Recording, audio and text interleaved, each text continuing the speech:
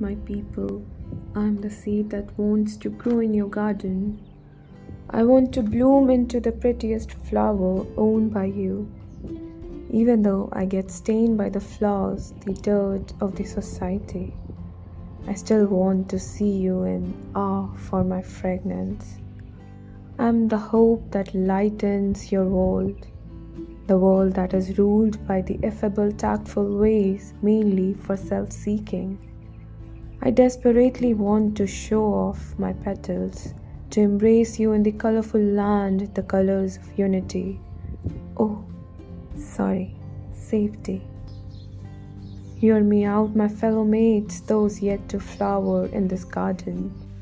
I'm just alike as you hiding under the soil, afraid of getting plugged, silent yet suffocating for my growth. I still hope to get nurtured by pure thoughts and rules. Hear me out, our gardeners. We do want to blossom to attain maturity.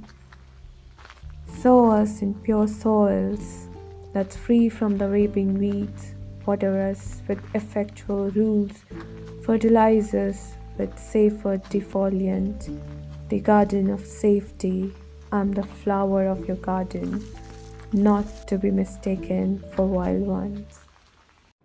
Thank you for watching and if you liked it, don't forget to subscribe it and hit the bell icon to turn on your notification for more updates.